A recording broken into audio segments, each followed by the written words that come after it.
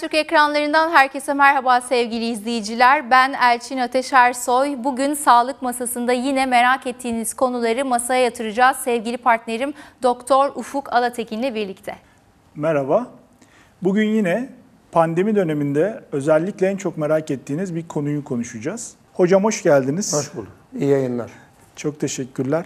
Bu arada gerçekten şeref verdiniz. Bülent hocamız 56 yıllık meslek hayatıyla hocaların hocası konumunda bir e, meslektaşımız. Kronik akciğer hastalıklarının koronavirüsle işte etkilenme düzeyleri, tedavisi veya ne şekilde bir etkilenmesi oldu? Çok etkileniyor çünkü koronavirüs diğer virüslerden veyahut da diğer infeksiyon hastalıklarından diyelim. İşte kuş gribiydi, influenzaydı, diğer birçok geçirdiğimiz akciğerle ilgili veya üst solunum yolları enfeksiyonlarından farklı olarak bu COVID-19 denen bu virüs doğrudan doğruya öncelikle zannediliyordu hani sadece akciğere gidiyor, akciğer tomografileri çekiyorduk. Ama sonradan anladık ki sadece akciğere gidip akciğeri bozmuyor, zatürre yapmıyor. Bir de damarları da bozuyor. Yani gittiği organın damarını bozuyor. Şimdi o zaman yani akciğerde hem yapısını bozuyor hem akciğerin damar sistemini bozuyor. O bakımdan da yani bu COVID geçiren koal hastalara veyahut da koal hastaların COVID geçirmeden önce kendilerine çok dikkat etmeleri lazım. Yani normal bir insan korunma şartları dediğimiz hani 3 prensibe 10 kere uyuyorsa koal hasta 100 kere uyuyacak. Hiç taviz vermeyecek. İşte maske takmaktan, mesafeden, el dezenfeksiyonundan vesaire. Ona 100 kere bakması lazım. Çünkü onlar risk altında. Ne oluyor çünkü hem damar sertliği var bunlarda, koal hastalarda. Kronik tıkayıcı akciğer hastalığının zaten tercümesi o, açılımı o. Kronik bronşit var, artı damar sertliği var. İkisi birleştiği zaman koa oluyor. Kronik tıkayıcı akciğer hastalığı oluyor. Kronik lafı eskiden beri gelen bir akciğer hastalığından esinlenerek yazılmış. Ama tıkayıcı hem akciğerin hava kanalları ve hava kesicikleri tıkanıyor hem de damar sistemi tıkanıyor. Tıkayıcı da oradan geliyor. Diğerisi akciğer hastalığı. Koa buradan geliyor. Şimdi bunun için de koal hastalarda çok dikkat edilecek, doktor da dikkat edilecek, hasta yakında dikkat, dikkat edecek, hasta da dikkat edecek ve tedbirleri ona göre alacaklar. En ufak bir şeyde hemen canım geçer demeyip hemen hastaneye gidip doktora başvurup akciğer filmi çekilecek, damar sistemine bakılacak. İlaçlarında aksama varsa onlar düzenlenecek ve ilave bir şeyler yapılacaksa onlar yapılacak. Aksi takdirde çünkü hayat çok zor oluyor. Önemli olan kronikleşmeden yakalamak. Zaten koada kronik var, kronik hastalık var. Ama Covid gelip de daha büyük komplikasyon yapmadan engellemek lazım. Covid yakalandıktan sonra. Çünkü bu hastaların 10 tane ko hastasının en azından 3'ü 4'ü bazen %50'si yoğun bakıma girmek zorunda kalıyor. Alete solunum cihazına bağlamak zorunda kalıyor. İşte o safhada iş tehlikeye giriyor. Yoksa Covid geçirebilir, alır virüsü. Çünkü bir de genetik çok önemli. Onu da halkımıza çok lanse etmek lazım. Birçok hasta hiç belirti vermeden bakıyorsun testi müsbet. Aa sen Covid almışsın deniyor. Ama belirti bile yok, nezle bile yok adamda. Hiçbir şey yok. Ama genetik sistemi o virüsü engellemeye kafi geliyor. Mesela çocuklarda öyle bir sistem var. Çocukların az olmasının sebebi o. Onlarda belli bir şeyler engelliyor bu virüsü. Onun için yani en ufak bir şeyde test yapılacak. Varsa Covid müspet çıkarsa hemen tedbir alınacak. Hocam peki koalı hastalar hangi aşamada tedaviye gereksinim duyuyorlar? Tıpta ana prensip şu, koruyucu hekimlik. Tedavi sonradan geliyor. Esas koa olmaması lazım. kişilerin. Tabii. Koa olmamasını sağlamak lazım. Tabii her zaman bahsettiğimiz gibi koanın en önemli sebeplerinden biri de tabii genç popülasyonda koanın sebepleri başka. Onu hemen sayacağım ama orta ve daha ileri yaşlarda sigara, sigara, sigara. Koayı, kronik bronşit yapan sigara olduğuna göre, damar sertliğinde yapan sigara olduğuna göre bir genç yaştan itibaren artık şimdi öyle tabii. Genç yaştan itibaren başlamışsa sigaraya o zaman 3-5 sene içerisinde kronik bronşit birkaç sene sonra da damar sertliği olmaması hiçbir sebep yok. %5-10 kurtulur. %80-90 bu ikili bölüme uğramak zorundadır. O zaman da bunun koruması yok. Sigara içtiği müddetçe koruması yok. Tabii en erken sigara ne zaman kesilirse o kadar çok düz yola çıkar. Çünkü belirtiler daha fazla olmadan, daha kötü belirtiler çıkmadan hiç olmazsa koa belki birinci evrede veya ikinci evrede kalır. Üçüncü evreye geçmez. Çünkü üçüncü evreden sonra geri dönüş hemen hemen çok az. Hele dördüncü evreden üçüncü evreye geçme yok. İkinci evreden birinci evreye, üçüncü evreden ikinci evreye tedavilerle, bakımla, sigara olmaması vesaire gibi şeylerle hastaları geçirebiliyoruz. Ama dördüncü evre geldiği zaman o zaman sadece destek tedavileri, işte solunum cihazları, oksijen tedavileri vesaire geliyor. Hocam ben de bir hekim olarak e, KOAH'ta cerrahi tedavi uygulanıp uygulanmadığını merak ediyorum aslında. Bir Tabii. de eğer uygulanıyorsa cerrahi tedaviyle KOAH sonrası akciğer kanseri gelişmesi engellenebilir mi veya yüzdesini azaltır mı? Yok. Şimdi KOA'da ki cerrahi tedavi başta böyle düz bakarsak KOA'da cerrahi tedavi diye bir şey yok. Ancak şu var. KOA'nın yaptığı komplikasyonları hastanın yaşam süresi ve yaşam kalitesini arttırma tedavileri var. Yani KOA'lı bir hastaya hava yollarını ne kadar temizlersek temizleyelim KOA %100 iyileşmeyecek ama nefes darlığı azalacağı için hava yolları tıkanan hava yolları açılacağı için mesela balon yapıldı balonun açıldığı için şeylerle fırçalarla bütün o işte tıkalı hava yolları kazındı. Hava yolları açılıp onun altındaki akciğer dokusu solunuma iştirak ettiği için ve aynı zamanda aldığımız materyaller koada. Koada en önemli şey bu yani invaziv bronkoloji dediğimiz yaptığımız fırçalama, e, stentler koyma vesaire sırasında aldığımız materyallerle tahlile gönderiyoruz. Kanserin erken teşhisi sağlamış oluyoruz. Çünkü birçok koala hasta farkına varılmadan son dönemde Aa, kanser çıktı diye geliyorlar önümüze. Halbuki işten geçmiş oluyor. Onun için koa tedavisinde veya takibinde olan bir hasta şöyle söylüyorum hani şeyde nasıl kolonoskopi, gastroskopi, mide, kalın bağırsak için yılda bir kere yapılsın yapılsın diye haber anons ediyorlar ya. Ben de diyorum ki yılda bir kere en az veya 6 ayda bir tercih edilen risk grubundaysa. Hı hı. 6 ayda bir, 1 yılda bir bronkoskopi yaptırmasına yarar var risk grubunda olanların.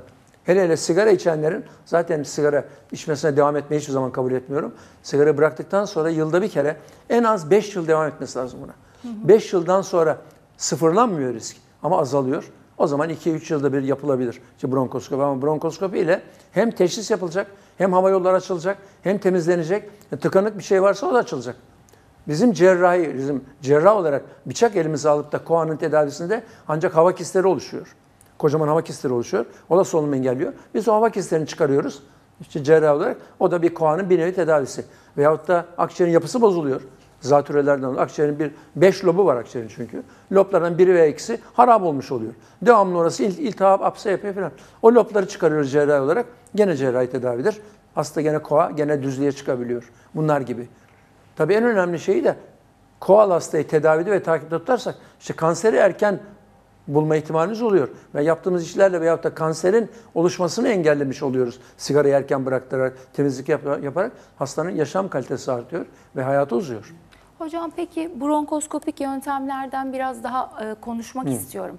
Bu yöntem sadece bir kez mi yapılabilir hastaya? Hayır. Senede en az iki kere yapılabilir. Hı hı. Yani hastanın durumu bize eğer durumu derken tabii genel durumu, nefes kapasitesi, yaşam kalitesi ve diğer organların bozukluğu yoksa, lüzum varsa üçüncü bile yapılabilir. O yıl içerisinde lazımsa. Çünkü büyük bir risk değil bu. Hı hı. Yani genel anestezi alıyor. Bakın genel anestezi bizim halkımız hep korkutur. Narkoz al, al ama narkoz mu alınacak? Narkoz almak demek oksijen, %100 oksijenle bir hastanın uyuması demektir. %100 oksijen hiçbirimiz uyurken yok ortamda. %85, 90, 95 oksijen var havada. Onunla biz uyuyoruz. Demek ki biz zaten normal yaşamda değiliz ki. Oksijen %100 değil. Halbuki anestezide %100 oksijenle hasta uyuyor. O %100 oksijende eğer başka bir handikap çıkması, komplikasyon çıkması. Çünkü komplikasyon olabiliyor anestezi sırasında. Kalp komplikasyonu, damar sertliği, tansiyon yükselmesi, embol atması gibi gibi. Yani nadir olsun. Bunlar olmadığı takdirde hiçbir risk yok. İşte bronkoskopi yapılır. Temizlik yapılır. Zaten hasta hastanede bile yatmasına gerek olmuyor. Çok çok biz bir gece yatırıyoruz. Aynı güveni öğleden sonra sabah yapıp öğleden sonra çıkardığımız oluyor aslında bir şey değil ki. Yani bir yarım saatlik bir işlem ama uzun bir şeyler yapılacaksa 2-3 saatte sürebiliyor. Onlar bir gece hastanede kalabiliyor. Ama çok faydası var. Yılda bir kere en az yapılması lazım. Bazen iki kere bile yapılır. Ben hekim olarak girişimsel göğüs hastalıklarının önümüzdeki dönemde çok gelişeceğine inanıyorum. Şöyle, insanlar nasıl mide rahatsızlığı duyunca işte gidip endoskopi Doğru. yapılıyor. Bağırsakla ilgili bir e, sıkıntı olunca veya 40 yaş sonrası mutlaka bir kolonoskopi öneriliyor. Bence önümüzdeki süreçte bu bronkoskopi ve girişimsel göğüs hastalıkları bu şekilde gelişecek. Çünkü Doğru. sigara en çok kullanılan şey ve en çok zarar veren Doğru. şey. Akciğer kanseri en çok ölüm sebebi. Bu konuda sizin görüşünüz nedir? Bir de girişimsel e, göğüs hastalıklarında bu kadar sıkıntılı mıdır o bronşları açmak? Birinciden başlayayım cevap vermeye. Yani bronkoskopi hiç sıkıntılı bir işlem değildir. Aksine hastanın daha konforlu olarak bir endoskopik işlem yapılmasıdır. Gastroskopi de mideye tüp takılma hasta canlıyken yapılıyor. O tüpü siz canlıyken uyutulmuyor. Canlıyken yutkun yutkun yutuyor. Bir sürü de eziyet çekiyor. Kolonoskopi dediğimiz alttan gene uyutmadan yapılıyor birazcık işte sedasyon, sakinleştiriyor. Gene uyutmadan yapılıyor. Halbuki bronkoskopi öyle değil. Uyutarak yapıldığı takdirde hasta hiçbir şey duymuyor. Bir Uyuyor ve parantez uyuyor. açabilir miyim? Peki Tabii. sağlıklı erişkin hastaya rutin olarak kontrol amaçlı yapılmasını öneriyor musunuz? Tabii. Yani tabii risk grubundaysa, sigara içiyorsa, bronkoskopi risk grubundaysa, yılda bir kere sigara devam ediyorsa bronkoskopiyi mutlaka öneriyorum. Çünkü bronkoskopiyle ancak erken teşhis yapabiliriz belirti olmayan hastada. Kronik bronşiti bronkoskopiyle anlayacağız. Aldığımız materyalde en ufak bir kanser hücresi veya değişken bir hücre bulursak patolojide bak kanser oluşabiliyor diye onun tedbirini alacağız. Onun için bunun başka çaresi yok. Bronkoskopi şarttır. Her yılda bir sigara içende. Yani sigara içmiyorsa, risk grubunda değilse, ailesinde kanser yoksa, bir şikayet yoksa o zaman bronkoskopiye rutin olarak yapılmasını önermiyorum. Gerek yok. Herhangi bir şikayet olursa bunu şüphelendi o zaman bronkoskopiye ihtiyaç var. Bu birinci kısmı sorun. İkincisi bu invaziv bronkoloji doğru, çok gelişecek. Yani bunu hangi uzmanlık dalı yapıyorsa yapsın. İster göğüs hastalıkları yapsın, ister göğüs cerrahları yapsın. Maksat akciğerle uğraşan birileri yapacak. Ve gittikçe de artıyor. Yapılan şey şu. Şimdi hava yolunu şöyle çizelim. Bakın. Ufak hava yollarını çizelim. Şöyle geliyor. Ufak hava yolları. Işıklı böyle giriyoruz. Bakın buralarda diyelim böyle tıkanıklıklar var. Sigara içmeden kaynaklanan. Sigara içmeden kaynaklanan, başka hastalıklardan kaynaklanan, çünkü akciğerin bir sürü hastalıklarında kronik bronşit oluyor. Buralarda geliyoruz, işte balonla buradan geçip balonu şişirerek geriye çektiğimiz zaman buraları bu kalıntıları işte kazıyarak alıyoruz. Bu birinci işlem balon sistemi böyle. İkinci işlem fırça sistemi var. Fırça var böyle. Fırçayı sokup fırçayla kazıyoruz buraları. Gene bronş açılıyor. Bütün bu materyal patolojiye gidiyor. Teşhis sağlıyor. Kanser var mı yok mu veya başka hastalık var mı yok mu diye. Ve ondan sonra da eğer diyelim ki şu hava yolu için bahsedelim. Burada bir kalıntılar vardı. Bunu temizledik ama tam açılmadı. Aynı koroner damarlarda kalp şey, kardiyologların yaptığı gibi. Tam açılmadı. O zaman stent dediğimiz burayı bir daha tıkanmasın diye buraya bir stent koyuyoruz. Böyle bir stent koyuyoruz. Stent konduğu zaman buradaki artık şeyle kalıntılar arkada kalıyor ve bu bronşta tıkanmıyor. Bu bronş tıkanmayınca bu akciğer dokusu da hep sağlam kalıyor. İşte bakın faydaları. Hocam fırçayı kullanırken mesela o alanı temizledik ve sürtünme etkisiyle parçaları aldık. Evet. O fırçanın etkisiyle fibrozis oluşumu gelişmiyor mu? Eğer öyle bir ihtimal varsa stent koyuyoruz işte. Yani genelde fibroz hemen her şeyde olmaz. Ama burası çok kötü bir hava yolu yapısı kaldıysa, bayağı kronik bir hastaysa, sadece bu hani böyle bir pıhtı gibi algılamayın bunu. Hava yolunun yani bronşun kendi yapısında hücrelerin kalınlaşması bu. Onları kazıyoruz tabii. Orada bir yara hani sürtündü bir yere şey koşarken sürtündük deri sıyrıldı. Orası kanıyor ya. Orası da kanayacak. Orada da bir şeyler dokuşular bir işte granülasyon dokusu teşekkür edecek. İltihap hücreleri. Onun için öyle bir ihtimal, işte tıkanma ihtimali varsa buraya stent konuyor bitiyor iş. Veya zaman zaman buraları kanamaları durduruyoruz. Aspire ediyoruz. Kan durdurucular yapıyoruz. Koter dediğimiz elektrokoterle yakıyoruz kanım olmasın diye. Yani her türlü imkan var bronkolojide. Ama yeter ki zamanında ve yerinde yapılsın. Peki. Hocam çok teşekkür ediyoruz verdiğiniz Sağ ol, bilgiler ben için. teşekkür ederim. Ayağınıza sağlık. Sağ olun. Hocam çok teşekkür ederiz gerçekten. Hayati önemi olan bilgiler verdiniz. Teşekkürler. Umarım herkes de e, izlemiştir, dinlemiştir ve söylediklerinize uyar. İnşallah sigara içmeyi bırakırlar. Bir programda sigara nasıl bırakılır onu öğretirim. Çok Keyif- kolay esasında. Keyifle, keyifle hocam. Evet. Bugünkü programımızın sonuna geldik. Umarım merak ettiğiniz soruları cevaplamışızdır. E, yeni programda görüşmek dileğiyle. Hoşçakalın. Evet sevgili izleyiciler, Sağlık Masası'nın bugünlük sonuna geldik. Bir sonraki bölümde görüşünceye dek hoşçakalın.